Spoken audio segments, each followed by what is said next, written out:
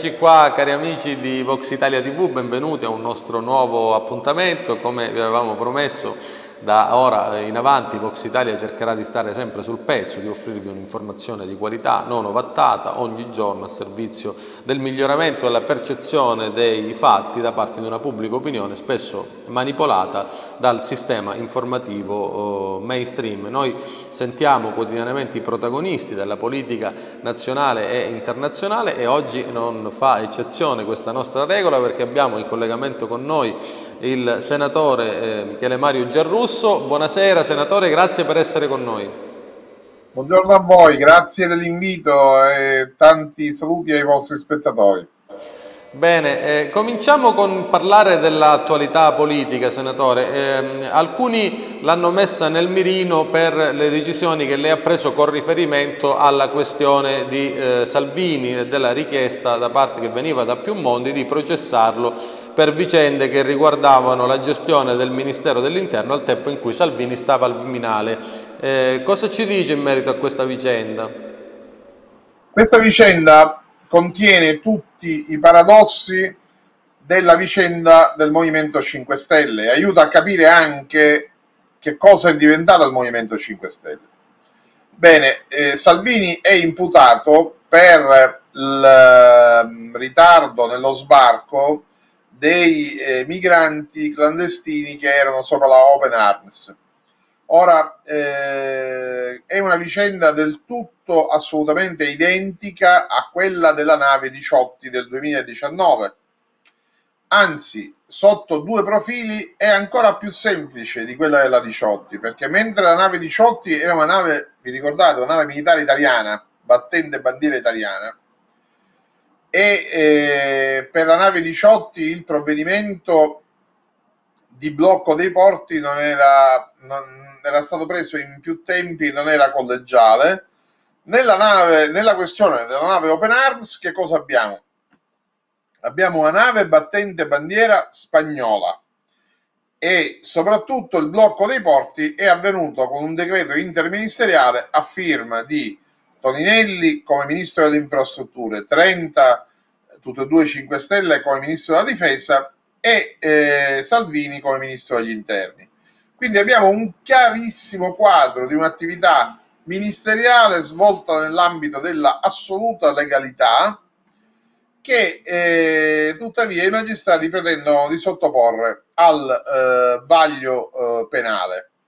Su questo punto, come già per la Diciotti, bisogna eh, tornare a una legge costituzionale approvata eh, negli anni 90. Questa legge costituzionale prevede che eh, la valutazione dell'attività del governo o dei singoli ministri eh, per vedere se eh, ehm, hanno compiuto atti nell'interesse proprio o nell'interesse dello Stato è rimessa alle Camere di appartenenza. In questo caso eh, sia Salvini che Torinelli, ma comunque il senatore Salvini sono senatori e quindi è toccato al, eh, alla giunta per le immunità del Senato eh, valutare se l'attività è un'attività di governo oppure è un'attività eh, fatta in nome proprio di cui se ne deve rispondere davanti alla magistratura penale. Quindi noi non valutiamo l'esistenza o meno di reati, ma valutiamo se quella condotta è una condotta che riguarda un'azione di governo e se questa azione di governo, come abbiamo fatto con la Diciotti, è bilanciata rispetto agli interessi che vengono sacrificati, perché è chiaro che ci vuole un bilanciamento, non qualunque azione di governo è legittima, ma soltanto quelle azioni di governo che rientrano in un bilanciamento fra gli interessi nazionali, gli interessi dello Stato e la tutela dei diritti eh, dei soggetti. Questo bilanciamento nel caso della nave Diciotti abbiamo ritenuto assolutamente sussistente perché non vi erano rischi eh, per la salute eh, di questi migranti e identica cosa va fatta per la nave Open Arms. Vi è di più, vi è di più. Per la legge cosiddetta del mare, la nave eh, che batte una bandiera di un determinato paese deve portare i soggetti che soccorre in mare presso un porto sicuro del paese di cui batte la bandiera. In questo caso la Spagna, perché la Open Arms ha una bandiera spagnola. Quindi a differenza della 18 che aveva la bandiera italiana, in questo caso abbiamo una nave battente bandiera spagnola. E cosa è successo? Che la Spagna ha messo a disposizione il porto di Algeciras e addirittura ha mandato una nave militare appoggio per eh, aiutare la Open Arms ad arrivare al porto, al porto di Algeciras. Tutto questo non è avvenuto perché ovviamente chi gestiva la Open Arms voleva farne un caso politico e si è diretta eh, diritto verso i porti italiani, malgrado questi fossero stati chiusi con il provvedimento del governo. Bene, che cosa succede? Succede che nel caso della Diciotti noi abbiamo espresso una linea, io ero capogruppo in giunta per il Movimento 5 Stelle, una linea di estremo rigore sulla valutazione dell'interesse nazionale e sull'interesse all'agire del governo. Non è una questione che riguarda Matteo Salvini, riguarda il ministro degli interni e la sua capacità di difendere gli interessi del nostro paese. A noi questo interessa. Bene, in quel caso avevamo detto non deve andare a processo perché non è stato superato quel limite che fa diventare illegale l'azione del governo. Cosa succede stavolta? Stavolta succede che, malgrado la situazione sia addirittura più chiara di quella della Liciotti, più tipica, quindi abbiamo il coinvolgimento di tre ministri, non uno solo, del governo, perché il provvedimento di chiusura dei porti, lo ricordo di nuovo, è stato controfirmato da tre ministri, di cui due del Movimento 5 Stelle, e la nave batte bandiera spagnola e quindi si deve recare in un porto spagnolo e non italiano, cosa riconosciuta dagli stessi spagnoli che hanno messo a disposizione il porto di Algeciras, il Movimento 5 Stelle ha deciso che stavolta il ministro degli interni dell'epoca deve andare a processo. Si tratta ovviamente di una posizione immotivata, immotivata, perché deve andare a processo? Perché lo dicono loro e basta, contro l'indicazione che era venuta da tutti gli attivisti che avevano votato su Rousseau. Perché attenzione, il caso di Ciotti e il caso della Open Arms sono assolutamente identici. Si tratta di azione di governo concertata e legittima. Ora, siccome io personalmente ho un nome e cognome e una dignità e non sono un pupo spingi bottone, a me personalmente la posizione che avevamo preso per la Diciotti mi convinceva e la ritenevo fondata e l'ho sostenuta in aula e adesso ho votato di conseguenza, ma in coerenza con quanto stabilito dagli attivisti con un voto, lo ripeto, su Rousseau, per giunta in linea col nostro programma che prevedeva l'abbattimento dell'immigrazione illegale.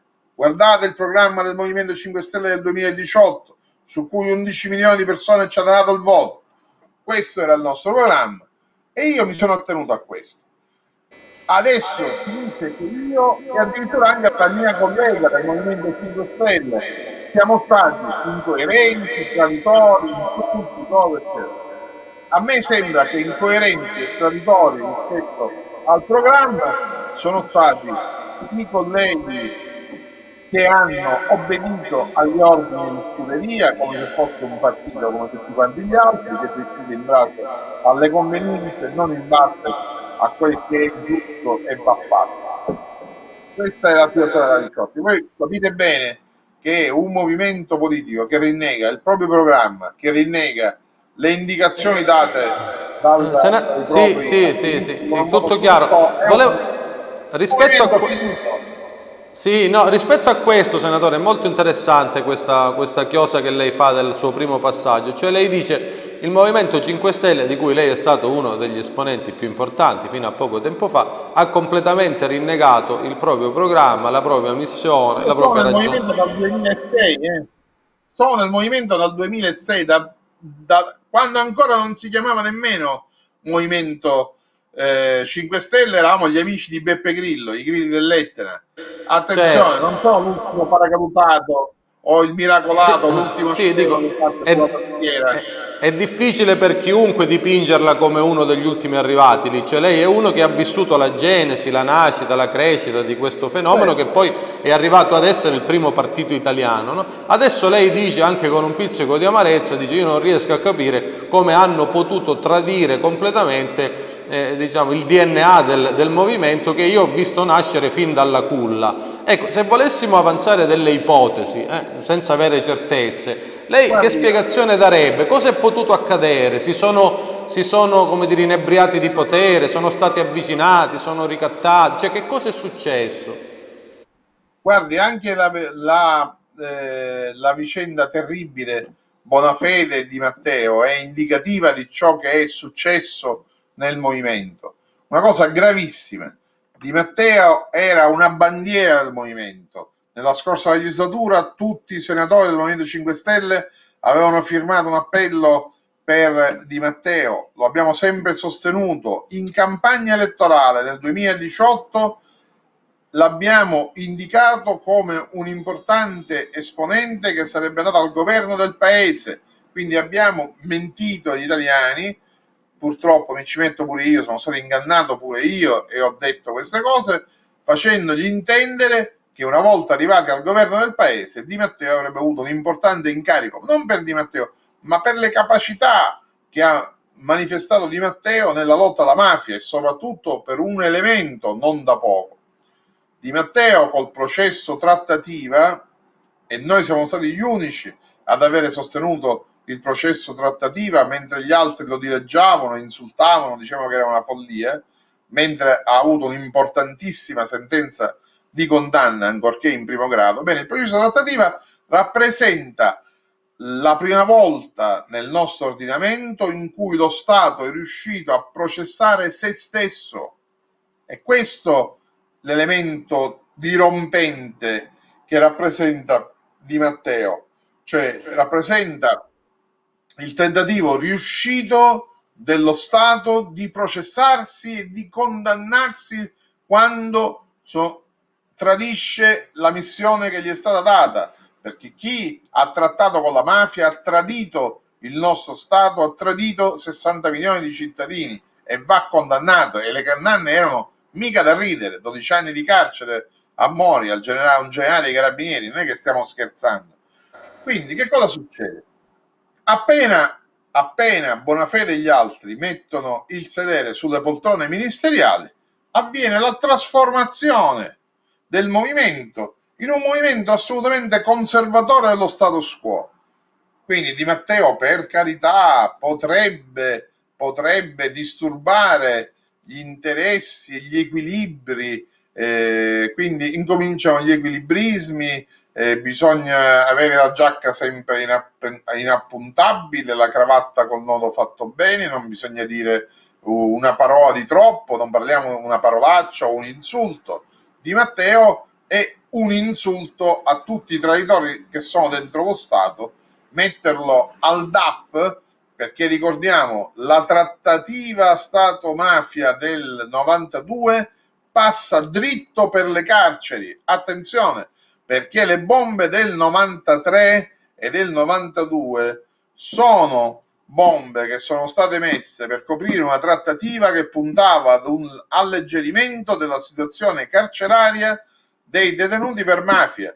Quindi mettere Di Matteo al DAP voleva dire consentire da un lato ulteriori investigazioni, perché non ci dobbiamo dimenticare che dal DAP dipende un corpo di polizia specializzato che è la polizia penitenziaria, che all'interno ha un nucleo ancora più specializzato, il GOM, che indaga nelle carceri, indaga nelle carceri. Quindi da un lato avrebbe potuto continuare il lavoro sulla trattativa dal DAP, dall'altro avrebbe sicuramente, sicuramente bloccato qualunque tentativo di ulteriore trattativa fra lo Stato la mafia. Qualcuno non lo ha voluto e ha fatto di peggio ammesso Bonafede, scientemente ammesso, si è circondato di un'intera banda di sodali di Palamara, banda che mette i brividi perché il dottor Basentini, il dottor Basentini che è stato nominato al DAP senza avere nessuna esperienza se non una discutibilissima gestione di un pentito che era parente di sua moglie, addirittura portavano lo stesso cognome con la moglie, quindi lui gestisce un pentito che porta lo stesso cognome di sua moglie ed è parente di sua moglie, quindi immaginiamo. Il dottor Basentini che come importante esperienza ha un disastro epocale che è l'indagine sull'ENI, quello di Tempa Rossa, perché dico disastro? Perché si arriva a far dimettere il ministro Guidi con l'indagine Tempa Rossa e poi che cosa succede? L'indagine sull'ENI viene archiviata, non vengono assolti, che da avvocato dico ci sta nel gioco delle parti, tra difesa e accusa, in tribunale si vince e si perde. Se uno eh, non è bravo a dimostrare i fatti o se gli avvocati sono bravi a dimostrare la innocenza dei loro clienti, è evidente che si può perdere e ci sta una soluzione. No, no, qua non si è arrivati al dibattimento, qua la stessa procura che ha fatto un disastro facendo dimettere persino un ministro, a un certo punto ha detto non c'è nulla, prendo ed archivio. Ora voi vi rendete conto che un soggetto che ha gestito questa indagine sull'ENI e poi viene nominato al DAP, viene premiato, lascia sorgere dei sospetti gravissimi su come sia arrivato al DAP, su cosa è il DAP per questa persona, che è un cambio di status non indifferente. Considerate che passa da uno stipendio di 80-90 mila euro l'anno, passa a uno stipendio di 320 mila euro l'anno che manterrà a vita, sarà pensionabile. A me sembra un premio. Io sto presentando una interrogazione per capire che cosa vuol dire archivio un'inchiesta per l'ENI e come premio mi danno il DAP? È legittimo sospettare che dietro ci sia un do to des. Noi non lo sappiamo, io mi auguro che non sia così, mi auguro che non sia così, però è strana questa nomina di questo soggetto. Bene, a proposito di questo, scusi se la interrompo. Sen- senatore, mi faccio dire una cosa che... Sì, prego, prego. Prego. Nel, nelle settimane scorse sospetto che vi sia stata una trattativa Stato-mafia di nuovo e di nuovo partendo dalle carceri perché c'è stata una vera e propria insurrezione coordinata dentro le carceri che si sono, eh, eh, si sono rivoltate queste carceri, i detenuti hanno fatto una rivolta in contemporanea in decine di istituti di pena. Come si fa a coordinarsi fra gente ristretta in carcere eh, in decine di istituti di pena? È chiaro, questo lo fa la criminalità organizzata, ma non basta la rivolta. Ci sono stati 13 morti, una cosa incredibile, danni per decine, 30 o 40 milioni di euro di danni alle strutture, 70 detenuti evasi. E la risposta di Basentini e dello Stato qual è stata? Non la fermezza che bisognava dimostrare contro la criminalità organizzata, ma sono state 8.000 scarcerazioni, di cui 500 mafiosi. Ora, questo legittima i cittadini a pensare che qualcuno sia andato nelle carceri, e anche qua sto presentando un'interrogazione per sapere che cosa ci faceva Basentini da Zagaria prima della scarcerazione di Zagaria era andato a trovarlo in carcere e non c'è andato da solo, c'è andato accompagnato da un'altra persona che non era del GOM, non era della polizia penitenziaria. E chi era quest'altra persona che lo accompagnava da Zagaria? E perché è andato da Zagaria? C'è stata una trattativa, qualcuno ha detto ai mafiosi va bene, che cosa volete per finirla con le rivolte nelle carceri? Volete la scarcerazione? Ve la diamo. Ed è uscita la, famigerata circolare numero 21, circolare che viene firmata di sabato al Ministero della Giustizia. Voi pensate, se qualcuno va di sabato al Ministero della Giustizia a stendo trova l'usciere, non qualcuno che lavora. Invece là febbrilmente lavoravano per tradire lo Stato, mettono in piedi questa circolare e da questa circolare ne viene delle cose ne vengono fuori delle cose orripilanti. Cioè, i mafiosi sono stati scarcerati nemmeno su propria domanda, ma su domanda dei direttori delle carceri. Ci sono 62 mafiosi che sono stati scarcerati o che hanno eh, rischiato di essere scarcerati non su domanda propria dei propri avvocati, ma su domanda della stessa direzione delle carceri. Vi faccio un solo nome che per me, che sono catanese siciliano, è gravissimo. Stiamo parlando di Nitto Santa Paola, il numero due di Cosa Nostra Siciliana, che il direttore del carcere dove era detenuto ha fatto domanda al giudice di sorveglianza per farlo uscire perché perché ha il diabete perché ha il diabete liberiamo il numero due di Cosa Nostra l'ala stragista mafiosa di Cosa Nostra ma siamo impazziti e qualcuno e qualcuno non vede che si è tracchiggiato sotto il proprio naso perché questo è successo. Qualcuno ha trattato, è andato nelle carceri a chiedere, vabbè, che cosa volete? Ecco, accontentati.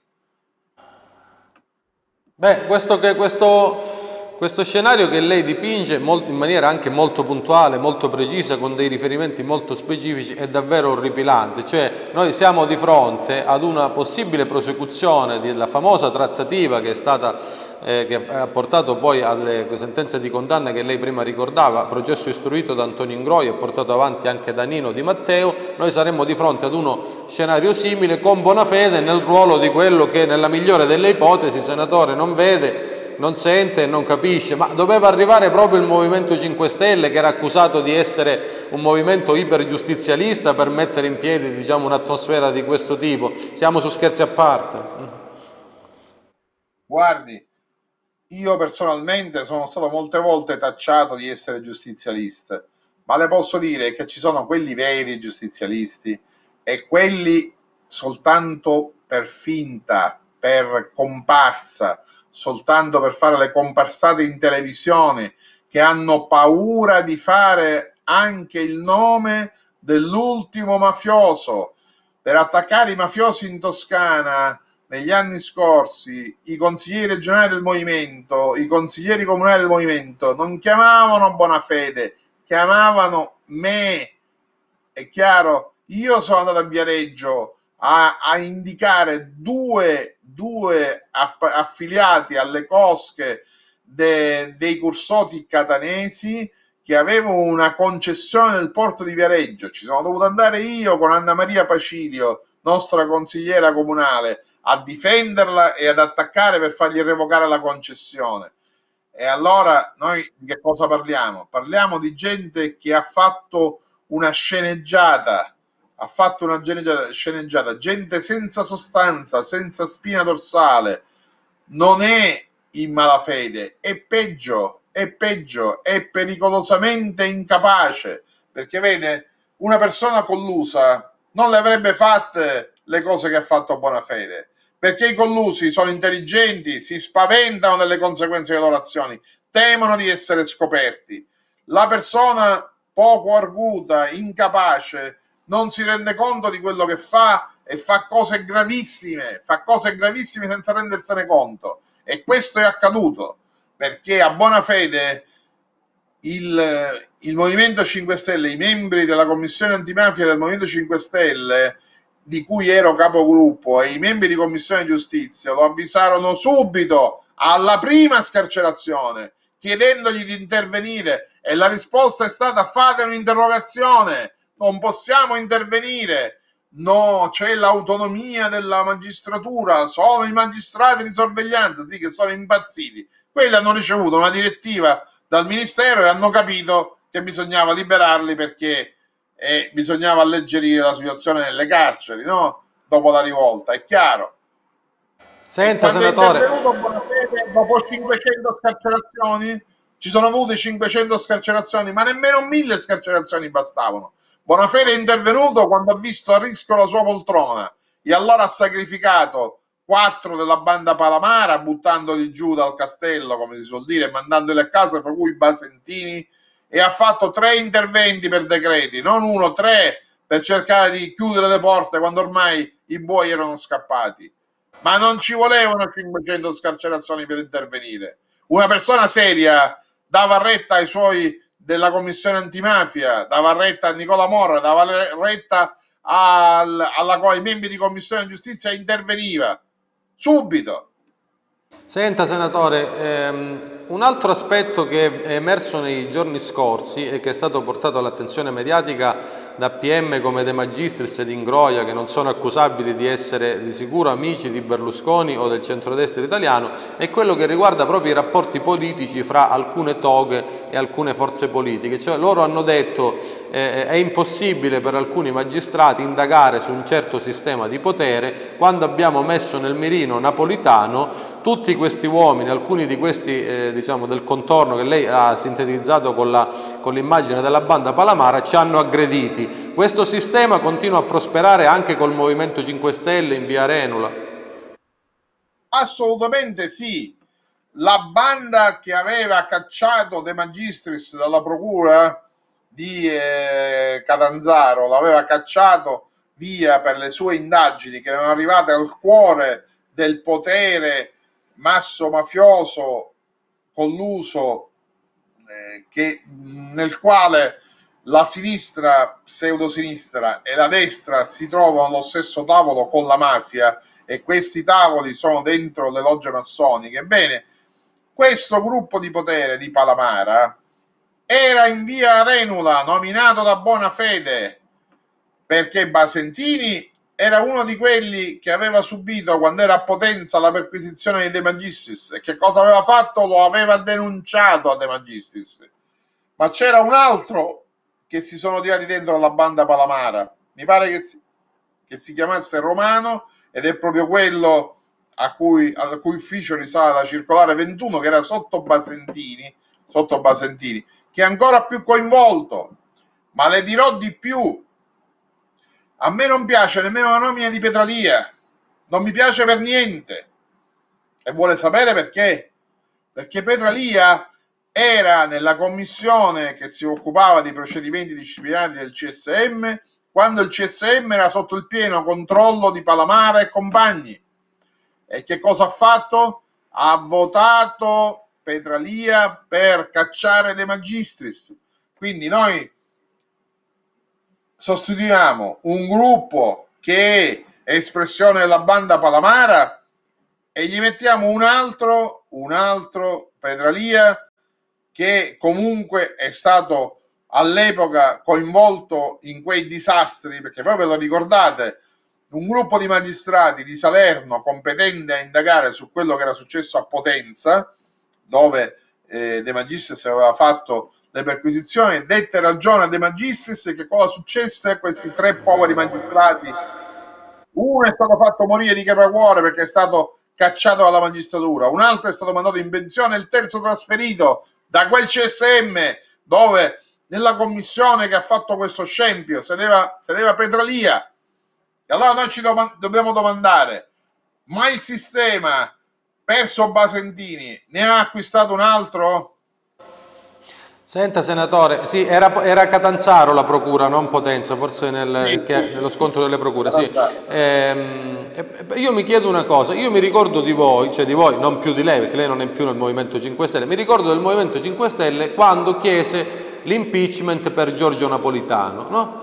Adesso, eh, da quello che viene fuori, tutti quegli uomini che all'epoca De Magistris ha puntato chiaramente il dito contro Napolitano e Mancino, tra l'altro protagonisti di alcune intercettazioni che sono state poi distrutte, diciamo una procedura che non ha eh, molti eguali nella storia della nostra giustizia, che sono state poi distrutte. Eh, eh, però diciamo, punta, ha puntato il dito proprio contro loro due. Ora sembra quasi che quel sistema che si era mosso allora per depotenziare lui e anche diciamo, l'inchiesta di Antonio Ingroia abbia trovato proprio in buona fede diciamo, nel Movimento 5 Stelle l'ultimo degli alleati politici, tra virgolette. Recitavano prima o è successo qualcosa nel frattempo? Guardi, qua rientriamo di nuovo nel, in quella discussione di prima. Quando uno è arrogante, incompetente, è perfetto per essere manovrato Io non credo che Bonafede si sia accordato con la banda di Palamara o con quelli attorno a Napolitano. Anzi, vi ricordo che io nella scorsa legislatura facevo parte del comitato per la messa in stato d'accusa del presidente e per il Movimento 5 Stelle ho sostenuto in quel comitato l'atto di accusa a Napolitano. Vi vorrei ricordare, quindi conosco bene quelle vicende e so quanto è pericoloso Napolitano. Bene, io credo che dietro la, la, mancato, la mancata nomina al DAP di, eh, di Matteo vi sia quell'ambito che gravitava attorno a Napolitano, che dobbiamo ricordarlo, è una parte del una parte, diciamo, il cuore potere, del potere del Piddino. È un, ma è un potere Piddino che va d'accordo con Berlusconi, va d'accordo con tutti, sono quelli che facevano la parte di alternarsi, una volta governava il centro-destra, una volta governava il centro-sinistra, ma in realtà erano entrambi d'accordo. Bene, quel potere ha trovato gioco facile in una persona sprovveduta, disinformata, eh, che mh, ha fatto solo finta di essere ministro della giustizia, ma non se ne è reso conto. Gli altri, gli altri governavano il ministero al posto suo, ma lui non se ne rendeva conto, Bonafede. Ecco, diciamo che eh, eh, forse Bonafede non ha un profilo di un uomo molto diciamo, arguto, ecco, diciamo così, capace di cogliere tutte le sfumature, di, che, ma forse per inesperienza, sicuramente eh, con il tempo migliorerà, per ora magari è rimasto guarda, un po' incastrato dentro queste, queste, dinamiche. Le volevo chiedere un'altra cosa, senatore, un secondo solo che le voglio fare... Un eh? racconto un aneddoto. Ah, prego, mi dica, prego. A cui ho assistito di persona su buona fede per capire che non è inesperienza, ma è mancanza di spina dorsale. Una delle persone coinvolte nelle intercettazioni che sono uscite fra Palamara e altri, una persona che era di fiducia di Palamara, siede ancora al DAG, che è il Dipartimento dell'amministrazione giudiziaria, uno dei vertici del, del Ministero della Giustizia. Bene, questa, questo magistrato sedeva con noi in un tavolo e noi si intende il ministro, due sottosegretari e i capigruppo di tutta la maggioranza. Io addirittura avevo anche un mio consulente ed ero in quel tavolo come relatore sul, su un testo importantissimo, quella che fu de- definita il testo che dette vita alla guerra di Trojan. Perché? Perché ci fu il tentativo da parte del PD e d'Italia Viva e anche de- di Forza Italia di affossare l'uso dei Trojan. Ora, per contenere quell'attacco, fui nominato io come relatore e facemmo una lunghissima riunione, alla fine facemmo tante, ma una che era, iniziò al Ministero alle 4 del pomeriggio e finì alle 2 di notte. Era di importanza straordinaria perché se fosse riuscito l'attacco ai Trojan sarebbero caduti la maggior parte dei più importanti processi perché sarebbero state dichiarate illegittime le intercettazioni ottenute con i Trojan e usate nei processi come prove. Bene, questa, in questa lunga riunione sedeva anche questa eh, dottoressa del DAG e altri capo di gabinetto, insomma c'era un, un po' di staff del ministro. Arrivate alle 8 di sera, questa signora, dirigente del DAG, davanti a tutti, a voce chiara in modo che si potesse sentire forte e chiaro, dice sono le 8 guardando l'orologio, io ho una vita e me ne devo andare si alza e se ne va davanti al suo ministro, ai sottosegretari e a tutta la maggioranza, lasciandoci tutti a bocca aperta. Qualunque ministro, qualunque ministro con un minimo di spina dorsale avrebbe detto a questa dottoressa, dottoressa, lei vada pure, però passi dal suo ufficio, si raccolga le carte e non torni più, per favore. Ecco, quindi lei... Chiaro? Quindi diciamo una persona che fa fatica a gestire i suoi dipendenti, figuriamoci come riesce diciamo, a trattare con i vertici dell'ala stragista di... No, dice, dice, come riesce a contenere più che a trattare, cioè trattare diciamo ha avuto eh, lei il dubbio che stiano ancora trattando, però diciamo come può contenere diciamo, la furia, la, la, capacità di intimidazione di gruppi che hanno un potere di persuasione sicuramente un po' superiore rispetto a quelli dei dipendenti di Via Areno. Ecco, questo di sicuro non ci fa stare tranquilli questo racconto che lei ci ha fatto. Le volevo chiedere un'altra cosa che ora riguarda più diciamo, la vicenda politica. No? Lei prima ha detto di fatto il PD resta eh, ancorato ai voleri di Napolitano, è un presidio di quel potere lì e Napolitano continua a rappresentare diciamo, il punto di riferimento di quell'area. No? Eh, come ci siete finiti alleati? No, visto che lei non c'è più. Ma guardi, devo dire per, per la verità che in quella terribile estate dello scorso anno, in quell'agosto in cui Salvini e si suicidò con le dimissioni in pieno, uh, in pieno agosto. E c'era poco che fare, la nostra era una ed è una fortunatamente una democrazia parlamentare, quindi bisogna trovare i voti per governare in Parlamento.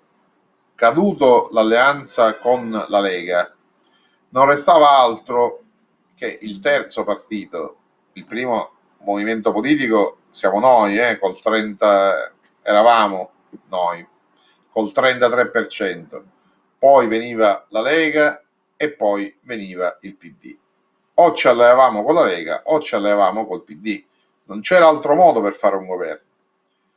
Peraltro andare così rischiando al voto avrebbe rischiato di eh, consegnare il paese a una maggioranza del 51%, tutta del centrodestra e tutta quanta di Salvini. Ora, io in democrazia credo molto alla rappresentatività e al parlamentarismo, perché sopisce le crisi e, eh, e le tentazioni violente in modo eh, che tutti siano rappresentati dentro il Parlamento e abbiano voce e diritto eh, di tribuna. Bene, pensare a un Parlamento con un governo monocolore di qualunque genere esso sia mi metteva i brividi. Quindi ho pensato, dico, siamo riusciti a gestire, diciamo, con alti e bassi il governo con la Lega, sicuramente saremo riusciti a gestire il governo col PD. Quindi devo dire che ero favorevole. Sono stato favorevole fino a un a un momento preciso. Quando ho visto la lista dei ministri mi sono cascate le braccia. Praticamente la eh, incapacità di chi governava il movimento è stata tale da farsi mettere in minoranza dal, dal PD nel Consiglio dei Ministri. Avevamo meno ministri di quelli che avevamo con la Lega, che aveva più voti del PD. Cioè, una cosa impressionante. Cioè, pur di restare attaccati alla poltrona, hanno detto sì a qualunque cosa, a qualunque cosa. Questo è stata una cosa molto molto grave, da là diciamo sono iniziati i dissapori forti con il gruppo dirigente che ovviamente hanno portato alla mia esclusione dal, dal movimento. Io non ho mancato mai una volta di far eh, risaltare come quell'alleanza a cui, ripeto, anche io ero stato favorevole, ma non immaginavo che sarebbe stato un patto leonino per divorare il Movimento 5 Stelle, per prostituirlo, per far diventare spadafora ministro, cacciando la Lezzi, Toninelli, la Grillo, facendo, mettendo speranza al Ministero della, della, della Salute. Cioè veramente... Hanno esagerato. Eh, diciamo hanno esagerato, ecco, diciamo così, hanno un po' esagerato. Senta, le faccio le ultime due domande e poi eh, la lascio andare visto che lei diciamo, ha, ha, ci ha offerto uno spaccato davvero, davvero interessante. Una riguarda, torniamo alla vicenda di Di Matteo che lei ha più volte citato nel corso di queste interviste, ha detto Di Matteo al DAP eh, faceva paura, ma forse Di Matteo faceva paura anche dentro diciamo, il gruppo che indaga sulle stragi del 92-93, visto che è stato poi insomma, eh, destituito improvvisamente con una motivazione non fortissima, insomma come se avesse dovuto pagare un eccesso di esternazioni mediatiche. Ecco. Che idea si è fatto anche di, quella, di quell'allontanamento di Di Matteo? Quell'allontanamento fu un atto assolutamente sconvolgente. Io avevo stima del dottore De Rao e sono rimasto veramente colpito dalla sua decisione. Credo che sia caduto in una trappola e abbia veramente combinato un non so come definirlo, un guaio, veramente un guaio. E la Procura Nazionale Antimafia, peraltro le dico un'altra cosa, eh, secondo me è proprio da rivedere come istituzione. E che cosa le volevo dire? Che come membri della Commissione Antimafia, al momento del, eh, della nascita del secondo governo Conte, avevamo predisposto tre paginette di programma possibile per la lotta alla mafia. Di quelle tre paginette non vi è completamente traccia nel, nello pseudo programma del Conte 2, ma non solo, di quelle tre paginette non abbiamo avuto nessuna, nessun riscontro da parte del ministro Bonafede, neanche per dire avete scritto delle scempiaggini, delle cose infondate, cose che non... niente, zero, prese e gettate nel cestino, come se non le avessimo presentate. Stiamo parlando, ripeto, di, un, di, un, eh, una proposta di programma che non avevo elaborato io, ma avevamo elaborato tutti i membri, compreso Nicola Morra, del Movimento 5 Stelle che facevano parte della Commissione Antimafia, in ore di sedute, con alcuni componenti anche delle commissioni giustizia di cui faccio parte io, che ovviamente hanno una sensibilità antimafia. Bene, di quel programma non vi è, non vi è alcuna traccia, non vi è traccia. E questo è uno dei grandi problemi perché il Movimento 5 Stelle non ha un programma, un progetto per contrastare la mafia. E non lo vuole avere perché non l'ha mai chiesto alle persone competenti, preparate, non sto parlando di me, si pote, ripeto, lo stesso di Matteo e altri erano, sarebbero stati ben felici, eh, Gratteri lo dice sempre, ha mandato delle proposte e sono state completamente eh, disattese, nessuno le ha nemmeno valutate. Bene, c'era chi aveva riposto speranza nel Movimento 5 Stelle, vedeva nel Movimento 5 Stelle la possibilità di combattere la mafia, mentre altri avevano visto nel Movimento 5 Stelle la possibilità di sedere in una poltrona ministeriale eh, alla faccia di 11 milioni di italiani e a qualunque costo. Tutto chiaro. Senta, senatore, chiudiamo con, uno, con una diciamo, indagine sulla situazione politica attuale, su quelli che possono essere gli scenari del prossimo futuro. Noi mai avremmo immaginato di vedere eh, Renzi insieme al Movimento 5 Stelle, insomma abbiamo visto anche questo, con Renzi che si è preso la briga di, di salvare il Ministro Bonafede dopo averlo pesantemente umiliato.